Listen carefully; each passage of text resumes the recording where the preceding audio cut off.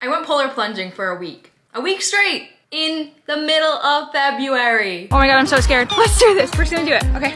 15 degrees colder than yesterday. Oh my god. And we have a special guest. Good morning. I'm so scared. Hi everyone, welcome back to my channel. In today's video, I am telling you all about a challenge I did back in February. I filmed it all through TikTok actually, and I went polar plunging every day for a week straight. I actually went eight days, I think, but we'll get to that.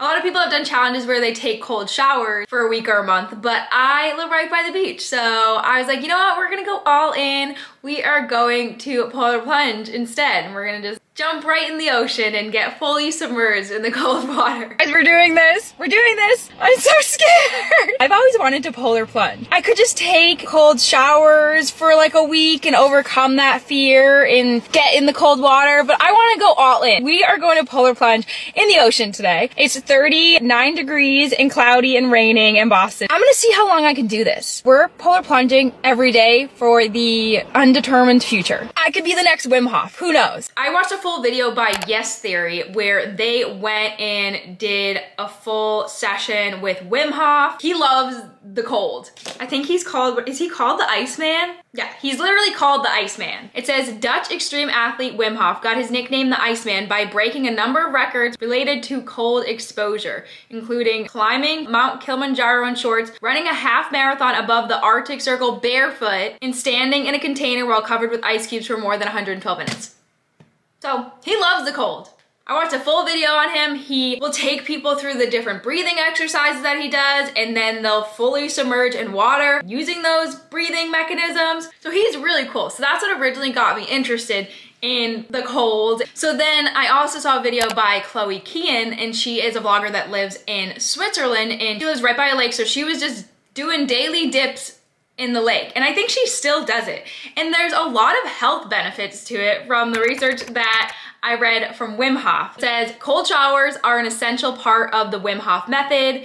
Aside from the mental resilience that a regular cold immersion practice can bring you, other core benefits of cold showers include helps with metabolism, improves circulation, releases endorphins, soothes muscles, and supports the immune system. So when I originally said, you know what, I'm gonna go jump in the ocean, I honestly was not thinking about any health benefits. For me, doing this challenge was something to get me out of my comfort zone. I don't know about you, but the thought of jumping in the cold ocean is not something that excites me necessarily. So for me, it was a chance to try something new outside of my comfort zone. As weird as that sounds, because I don't think anyone would willingly do that, but that's just who I am. I like to try new stuff. I love the quote that learning happens right outside of your comfort zone. Like there's that circle where you're comfortable, you're doing your thing, but when you step out of that circle, that's where you actually start to grow as a person. That's what we were going for. It was a really cool experience. The water, I think on average at the beach that I went to was because this was mid-February, mind you. It was about 40 degrees, but there were a few days that I went that it got down to 25 degrees Fahrenheit, and it was cold. Let's check out day one. Okay, let's do it, let's do it, let's do it! I have some friends with me. It's time. I'm gonna wear my Crocs in. These are Crocs. Oh my God, I'm so scared. Let's do this. We're just gonna do it. Okay, bye.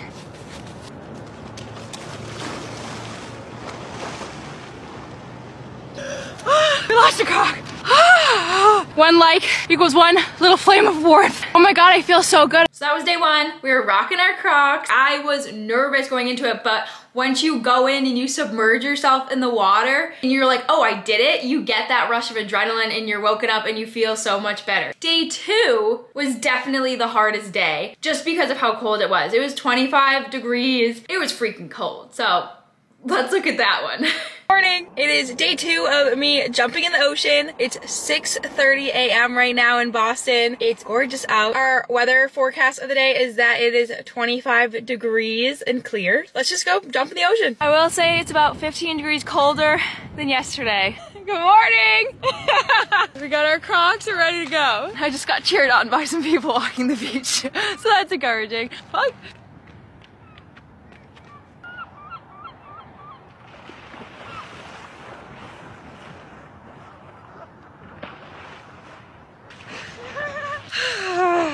The car. It was about 15 degrees colder today and I felt that. I felt that a lot. I'm glad I got some support from the lovely people walking the beach. Then on day three, we were getting into the routine. It was actually so weird because I am not a morning person whatsoever. And I've tried getting up early in the morning to go on a walk, to work out, to just get up and spend some time with myself and read. And I just, nothing will motivate me to get out of bed unless I need to get to work or I have plans with a specific person. Like if I say I'm working out with you at 7.30, I will be there.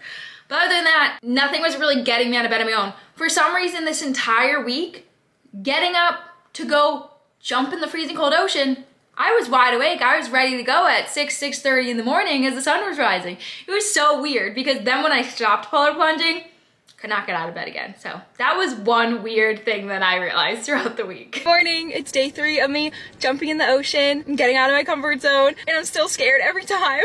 It is 27 degrees and about to snow in Boston right now. And I just want to say thank you to everyone who's following me along on this journey. You don't have to jump in the ocean to get out of your comfort zone and try something new. You can ask a question in class, talk to that person you've been wanting to talk to, apply for that job you've been wanting to apply to, do something that that you've been wanting to but something's been holding you back. That's my little inspo for the day. We gotta go jump in the ocean, come on.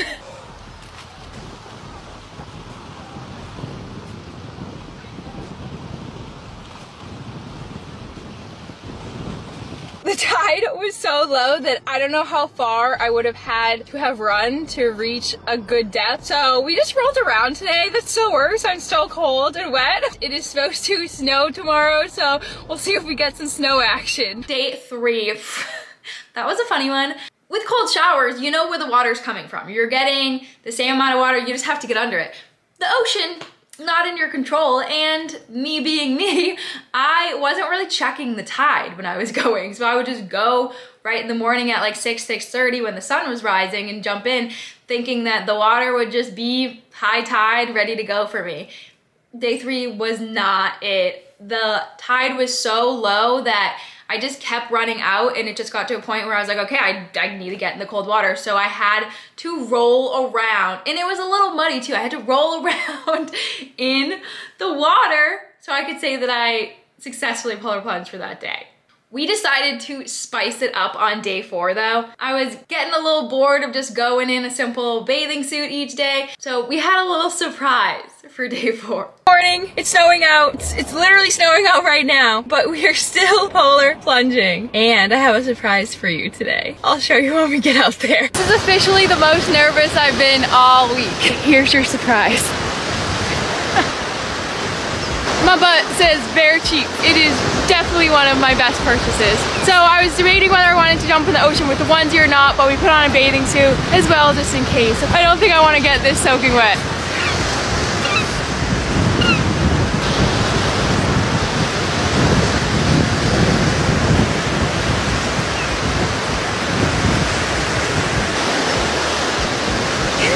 Oh my god! We did it! Yay! That one I had butterflies for since I woke up this morning. But then the minute I ran into the water, I felt good. Day five, didn't check the tide again. We had to roll around a little bit. I will say that it gets a little easier. No matter what, I was still scared every time. Sometimes I would wake up and be anxious because I was like, oh, I need to like, I need to jump in the ocean today. I don't really want to, but every day I was able to get out there and overcome that fear, which made me proud of myself. I'm PMSing, so I just cried for no reason. We have some support with us today. He's actually coming with us on our polar plunge tomorrow, which is exciting. I always go where there's like 10 million birds. okay, let's go.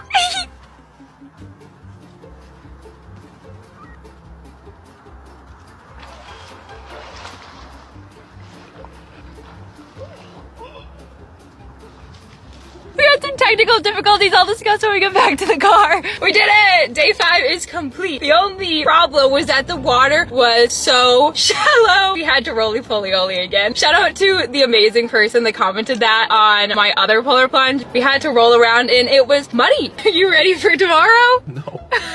I'm so scared. Day six was my absolute favorite day because I got Vlad to go with me and Vlad hates the cold. I'm just gonna let the video speak for itself, so enjoy.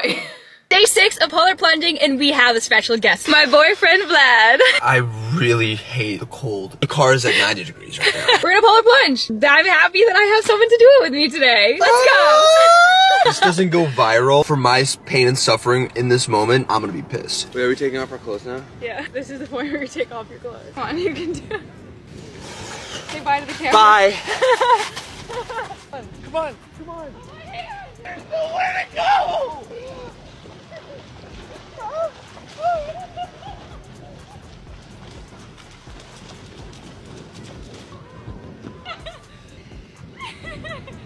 There's nowhere to go. Oh, you did it. Never again. I love you. I'm so proud of you. Love you too. That was terrible.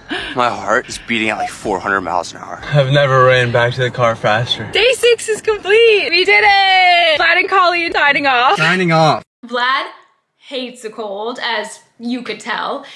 But I'm so happy that I did it with him. That was such an hysterical day because the tide was low, because Dum Dum over here didn't check the tide, and we we just had to go and run in and roll around. He was like, oh yeah, I totally ran in. I totally got my entire body wet. You can tell he literally sat down and got up and was just running in the way he was running. The way he ran out of the water was, it was amazing.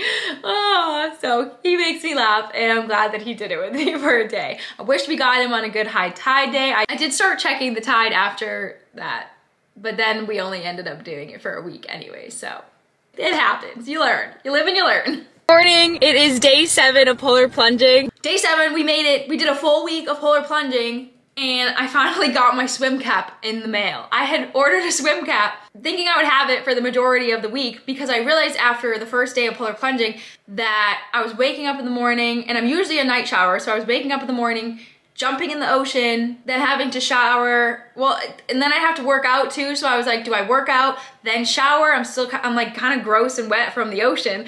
Or do I shower from the ocean and then work out and have to shower again? It was a mess. If you're a woman, you know the struggle of trying to figure out when you're gonna shower, when you're gonna wash your hair, and when you're jumping in salt water every day and rolling around in the mud sometimes, you're gonna have to shower and shampoo your hair just about every day that you're doing that. we got our swim cap finally. We got a nice neon pink swim cap right on day seven, which was good. And it was the perfect polar plunge day. The tide was high, it was nice morning, and we just just went right in. Brought ourselves a swim cap for today's dip. I've never put a swim cap on, so let's see how this goes. Did I do it? Oh, I think I did it. Oh, look at that. Let's freaking do this. Day seven polar plunge, baby. I love this.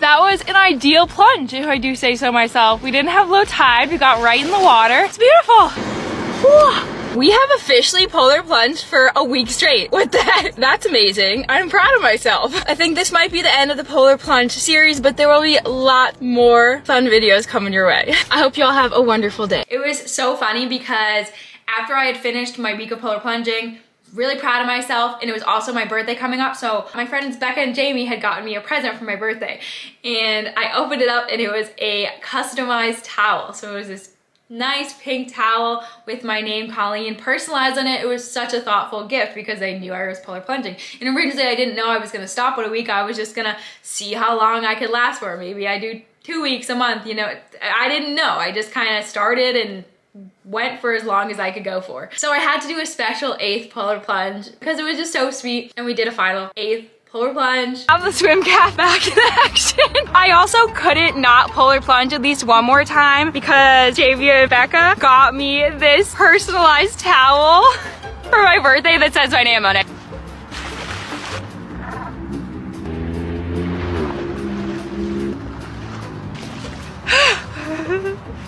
Not gonna lie, I didn't really miss doing that. I was used to be nice and warm and cozy for the last week. That was nice and refreshing. I got cheered on. We're back at it. Some people's thing is dancing, some is making funny videos, and mine is just jumping in cold water. So yeah, I went polar plunging every day for a week. I encourage you to try something to challenge yourself and get outside of your comfort zone. Thank you so much for watching and I will see you in my next video. Bye!